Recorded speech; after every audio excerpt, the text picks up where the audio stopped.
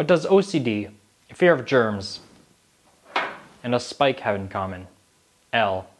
Elle's life's a real balancing act. She struggles to keep her life in perfect order. Let's see how long she goes before losing balance. Let's get right to the point with her secret. Elle looks around to see her apartment walls. The place is rented by her mother. She definitely couldn't afford it herself due to her unemployment status. Her cat lays at her feet because there's no comfortable beam of light to bask in. The lights are frequently low and the curtains often shut. Elle hates to see any dust particles fly around. She pulls her legs up and jumps off her seat. Elle's cat, Abba, startles awake with a mix between a meow and a yawn. Abba marches across the floor towards the food bowl for a snack. The constant meowing drones on until Elle scoops a small amount of cat food into the container. The cat reaches the food before the bowl touches the floor. Elle pulls her hand back to avoid the incoming teeth and claws. The bowl falls and food scatters.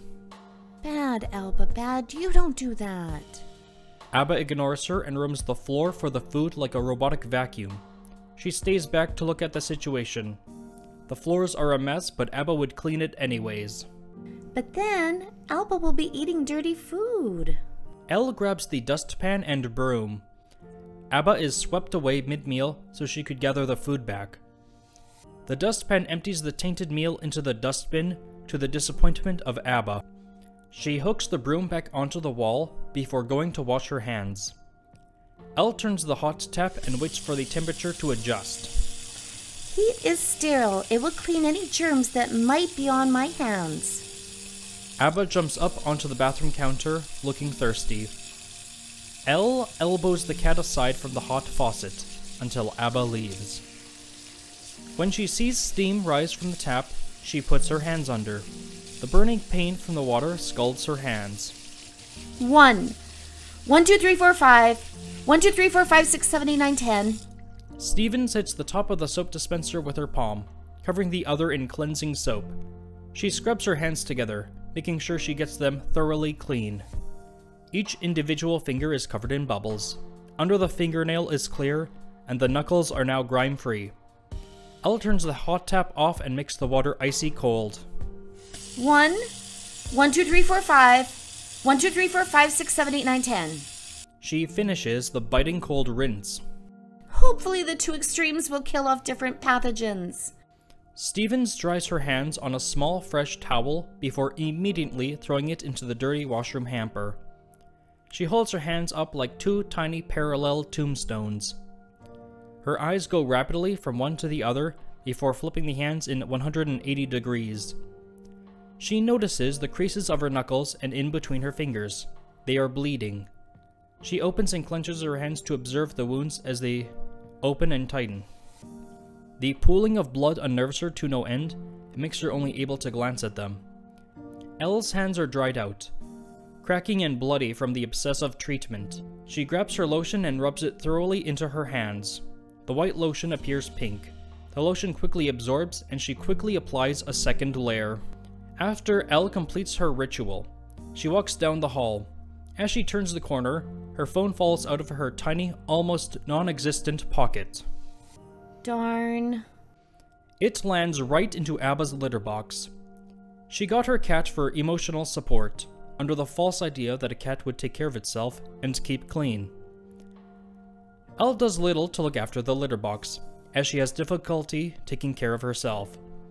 She leaves that job for her aging mother, who visits when she can. It's disgusting. Elle reaches in to grab it. Her hand digs into the litter like sand. She feels the germs. They surround her submerging fist. Elle draws her hand back in disgust. It's burning. The areas of her skin that are dirty sting. The heat intensifies rapidly with no sign of recovery. The only solution to the pain is to cleanse the tainted flesh.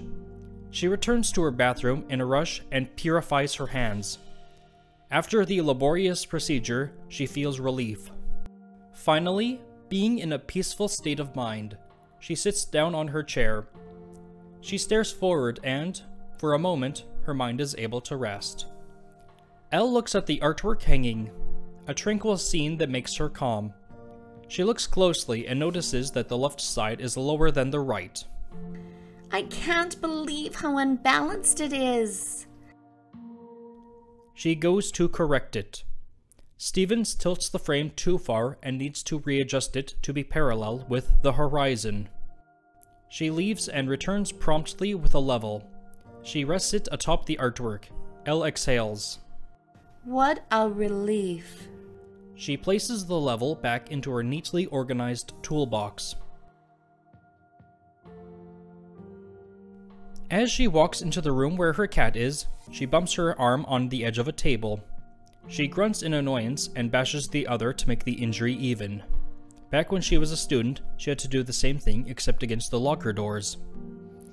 Elle looks at the mess around her, festering trash bags wall to wall. She goes into the fetal position and panics at the sight. Elle covers her eyes and screams.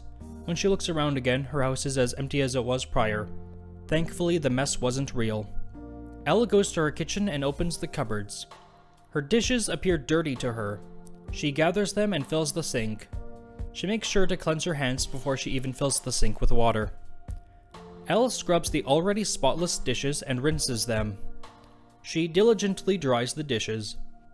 Elle then conducts her post dishes hand wash before she can conclude the chore. She looks around for Abba and sees that her cat looks a paw. The cat continues and grooms the arm fur. Elle looks at the disorderly fur on her pet. It's uneven. I'll have to give you a brush. Come on, Elba. Let's get you looking pristine.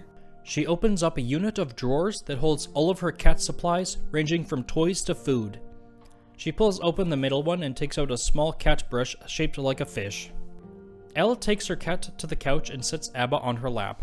She drags the brush across Abba's back, removing a clump of hair. Abba leaps off her owner and runs away. Don't go. I still need to brush you 15 more times.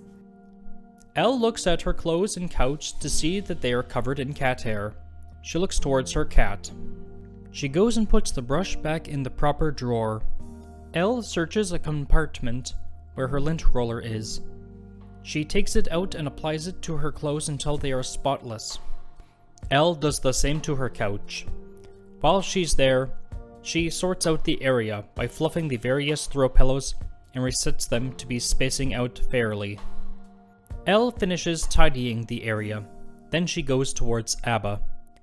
She looks in her hand at the lint roller, then she stares at her cat and gets a great idea. You won't be shedding much after this. Her cat backs up into a corner with no escape. Elle holds out the lint roller, almost able to run it across the cat's fur. Abba growls and slashes at her with its claws. Elle drops the lint roller and Abba runs away. Elle stares at the scrapes and holes in her arm left from the strike. Thin lines of blood pool out of the cuts. Her hands shake uncontrollably because of the sight of the blood. Elle goes to the bathroom door but can't open it. Her fingers are too numb to use. Elle's hands stiffen to the point that she can't open or close them anymore. She presses her palm on the doorknob and rotates it open. Elle rinses the blood while looking away. She briefly glances back several times. When most of the blood is gone, she dries her hands on a towel by dabbing her hands dry. Stephen sees the bright stains on her white towel and throws it in the hamper with a scream. She leaves the bathroom, but leaves the door open for ease of access. Elle looks at her arms' scratch marks she goes and takes out a sewing kit. Lifting a sewing needle, she decides that she will have to replicate the scratches to mirror. She closes her eyes. With her hand, she feels where each one is before stabbing and scratching her other arm. She opens her eyes for a moment. It's horrible! It's worse than I thought! She sees not only the awful blood, but that she's done it incorrectly.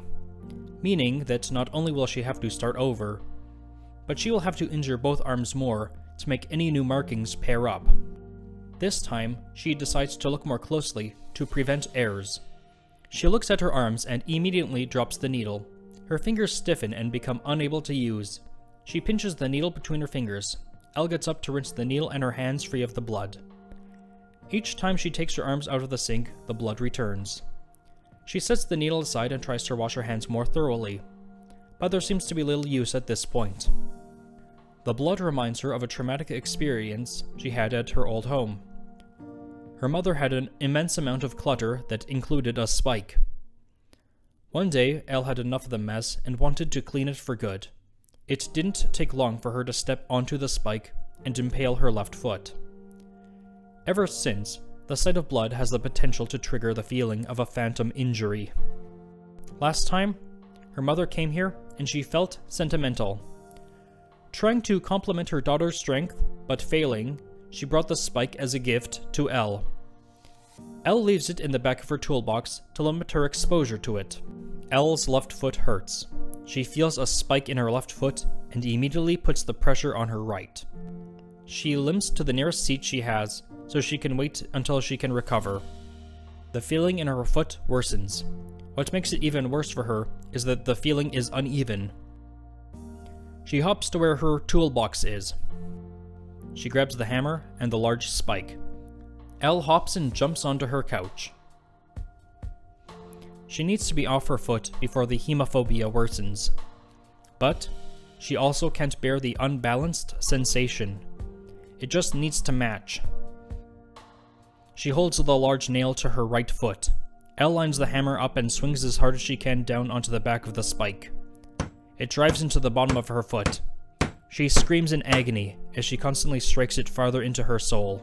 When she finishes, she lies back and stares at herself in horror, but by now she lacks the strength. The blood pools at her feet, and she locks her gaze on the large puddle. The amount she observes is finally too much for her to behold. Elle becomes hysterical, laughing while she cries. The nail sticks out of her foot as she kicks her legs in anguish. Elle becomes lightheaded and dizzy. Her legs and hands go completely numb. Fearing the situation, she allows herself to lull off and faints away. The only thing Elle left unbalanced was her mental state. There's not much dirt on her. I will show you the item for tomorrow. You can learn the meat of this story next time.